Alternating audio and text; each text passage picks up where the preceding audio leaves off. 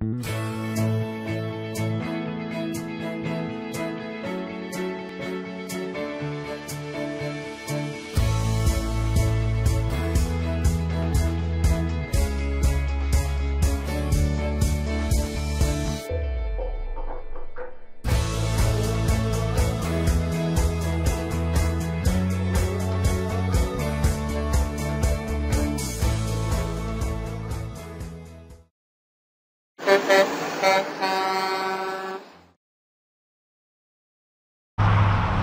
I'm Ted Keyes, your host and top freight agent training expert here in Southern California.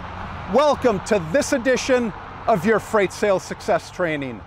After watching and applying it, you'll move more freight efficiently, effectively, and effortlessly and make more money financially. And if you have any questions, call me Ted Keyes at 626 309 9141.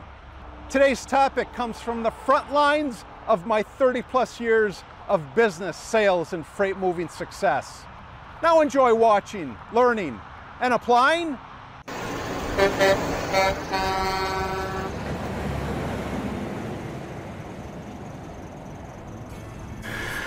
Hello and welcome to my Tuesday conference call, everybody. Ted Keyes, your host and top freight agent training expert here in Southern California high-powered meeting I hold live every Tuesday for top producing new and struggling freight agents at 2 p.m. Pacific time and 5 p.m. Eastern time. On the call today, I will show you how to move more freight efficiently, effectively, and effortlessly so you make more money financially. And after the call, go to my website, tedkeyesonline.com to hear more of my podcasts, read more of my blog posts, watch more of my videos, and while you're there, visit my Freight Sales Success Store for top-notch freight moving products to truly explode your freight business today. When you arrive at my Freight Sales Success Store, you will see a host of products that are available. First one you'll see there is my Freight Sales Success Guide for beginner and struggling freight agents. I do, however, provide this for when you join our top producing freight sales office.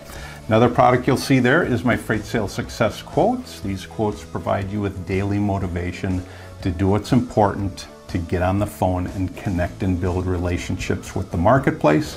Third product you'll see there is my Freight Sales Success Training. This is a video course that'll take you literally from knowing little or nothing about freight to moving your first freight load and beyond. You'll also see there for sale again is my Freight Sales Success Skills. This product provides those intricate little skills that are required uh, to handle different situations that you come in contact with. However, my freight sales success skills along with my other products are available today for purchase in my freight sales success store. And while you're there at my uh, at my store taking in all this free information on any on any page on my website you happen to be on, just over to the right, uh, go over to the right and enter your contact details. By doing that, you'll receive your email invite to this in every call. Not only that, you'll receive the attachments that I provide on each and every call. And also just as a freebie for getting, uh, for opting in, you'll receive my free report. Again, it's just a free report. 11 ways freight agents will increase their income. Go through this uh, as a beginning struggling freight agent this report will assist you in increasing your income. And just so you know, that report there has been downloaded thousands of times before. And if you have any questions, any questions whatsoever about what I went over today, or more importantly, more specifically, are you ready to join our top producing freight sales team? Then give me Ted Keyes a call. I'm at 626 309 9141. Today's training topic is a good one. It's called Prospects That Grow Your Freight Business. Prospects that grow your freight business. So, for those of you that are on my Gmail contact list and you received that email invite today, just go to that email or any one of those emails, scroll to, go down to the bottom if you haven't done already, print out those attachments because we're going to go over those attachments that I provided one by one. Again, my topic is prospects that grow your freight business. Prospects that grow your freight business. Just like in any other sales profession, there is a process that you go to as you connect and build relationships with the marketplace. When you first start out, there are prospects that are at this level. As you get better and better, the prospects are then at that level. As you get better after that, they're at, at, at this level and then as you truly get, you know, wonderful and great at this profession, you get these prospects way up here. Not only are they easy to get, but they are the most profitable. Regardless of that, everything that you do is a process. And again, you only see it as you go through it. You can't just look at uh, look at this document that I provide and say, "Oh yeah, I understand that." You only understand it as you go through the process of dealing with more and more and more prospects. So go ahead and open that first attachment and let's go over prospects that grow your freight business. Now, as I said, this is a process, okay? It's a process that you go through, okay? And then there's a process that you'll see, as I'll explain at the end, about, again, going through this process of these uh, acquiring these prospects. But what I'm going to do is talk to, today. I'm going to talk about four types of prospects. Four types of prospects. The first prospect as a beginner or struggling freight agent, or let's let me just say a beginning freight agent, the first type of prospect that you're going to make a connection with they're, they're just, they're, they're standard attention getters, okay? The, these are the, uh, the, the, prospects of the industry that uh, like do lumber, for example. They, they do these general commodities or they only move a couple loads a week or a couple loads a month. Uh, they're, they're generally easy to get a hold of. They're typically easy to get on their freight lists. Here's the downside so many other uh, you know so many others are on uh, their lists as well. Uh, the, these are these are your beginner prospects, okay? Uh, and again, it's all about getting attention. So even these beginner prospect, these prospects that you're getting, you still have to reach out and get their attention. Now, again, it's not that difficult to get their attention because they move these standard commodities. The loads that they do are pretty much based on price. However, there are some of them that you can really develop a, a good relationship with. And, you know, when they see their value, they'll typically go to you you know, let's say 75, 80% of the time. But again, they're, they're just general, uh, they're general prospects. They're general individuals that you, you know, that you can reach out and it's relatively easy to get a hold of them and get on their freight list. That's the first type of prospect that you'll go through. The second type of prospect, and again, remember, this is a process. After a while, you're going to say to yourself, you know what, I'm dealing with lumber. I'm, I'm done dealing with steel. I'm done dealing with wood. I'm done dealing with brick. What else is out there? What else is out there? You know, what other types of businesses are out there? Because I've gained this initial, uh, the, this, this initial information and these initial skills. Uh, you know, I'm tired of being on the same freight list with a hundred other uh, freight agents. What else is out there? Well, these are prospects that are called criticizers. They're called criticizers. They, they, you don't just come in and get on their list. It takes a little more effort. Now, what do I mean by criticizer? Well, you call them and they'll say, you know, hey, I never heard of your, your business before. Or I dealt with your business before and I had a terrible time at it. They'll, give you these little critiques or they'll actually criticize you, your company, okay, or something that happened in the past. Now, eh, hey, they may even criticize you. I, I don't like the way how you sound. I, I don't like, you know, uh, you know, the name of your company. They're, they're these little critiques that you'll get, okay, that that uh, that they'll give you just as a just as a means of resisting you coming in. Now, do they have uh, you know better paying freight? High probability that they do. But I'll say this: as you as you uh, contact more individuals that have better paying freight, you know that that are these big corporations, it will be more challenging than you, when you get in there. Uh, cr- cr- uh, here's another critique. You know, how many uh, uh, how many trucks do you have in your fleet? Okay, who are you currently dealing with? You know, so that you know that you've got experience. So there are these little critis- these little uh, criticisms that you'll get that you have to overcome. Okay, and again, this is not a profession where you just say, "Oh, okay, let me, you know, uh, let me just roll over for you." You've got to stand up to these individuals, these, these individuals that are criticizing you, okay? So the first type of prospect is just a, a general attention getter. The second type of uh, prospect are the criticizers, okay? Now, let's say that you've gone through your criticizers and you're ready to go to the next step, okay?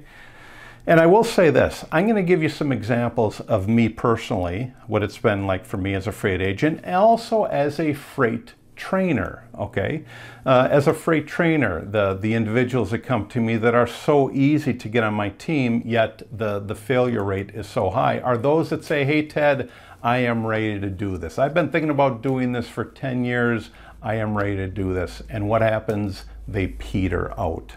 They just peter out. Okay, that's an example of a, a you know a, a, general attention getter on my part. Criticizer, hey, I'll contact them, and uh, they're already uh, they're already a freight agent with somebody else. Uh, here's another example. You know, hey, I've seen your videos and I didn't learn anything. You know, that's a that's a criticizer from a training aspect. Okay, the third type of prospect, okay, from the freight side, from a freight agent side, is what's called a hater. I mean, these people, they, they hate you. Uh, let me give you an example as a freight agent. They dealt with uh, your freight company before and they just had a terrible experience. Or, hey, uh, you know, whoever they dealt with in the past attempted to cheat them out of money. You know, they, they agreed on a rate. Uh, the agent in the past uh, attempted to in, you know, improve the rate. So because of that, they want nothing to do with you. That's basically a hater, okay? Hey, I want nothing to do with you guys. I dealt with you in the past. Don't call me again. So what do you do? Do you, you know, coil back in your corner and say, "Oh boy, gee, I just, uh, you know, I just came across this guy, and uh, you know, he wants nothing to do with me." No, realize that you will deal with people that generally don't either like you or your company. Okay, there are these huge brokers that are out there in our marketplace. Let me give an example C.H. Robinson, TQL. These folks are the biggest brokers in the industry. Because of that, they get the most criticism. I mean, they're regarded as cheap brokers. Now, I'm not saying that, okay? It's just that that's the criticisms that they get. And uh, again, as you get bigger and bigger, you're going to get more criticisms and you will have haters because the more popular you get, the better and better that you get, you know, you're up there in an elite group. Well, when you're up there in an elite group, you've got all these people uh, below you that didn't do what you did. Okay, they didn't put in the work. So what do they do? They criticize and they hate you. Okay, that's just how our society works.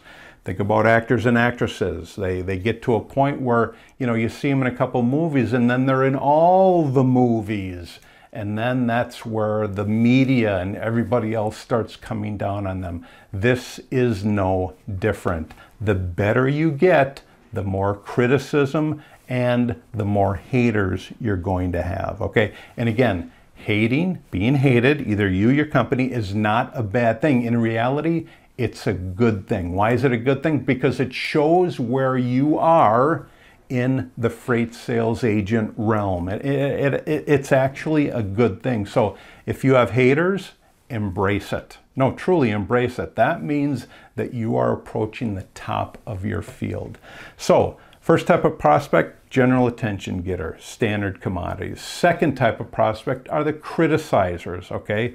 They're, they're, they're more resistant. The third type of prospect are the haters. Initially, they want nothing to do with you. And again, you have to go through this process of building a relationship with them as well. Again, haters could be these large multi-billion dollar corporations. You know, they in their mind they're just flicking you away like a flea when you're calling them. They're like, get out of here. I, I never heard of you. I mean, I am totally comfortable here with, with the people that I deal with. Yeah, you know, you know, like, like they're brushing you off their desk.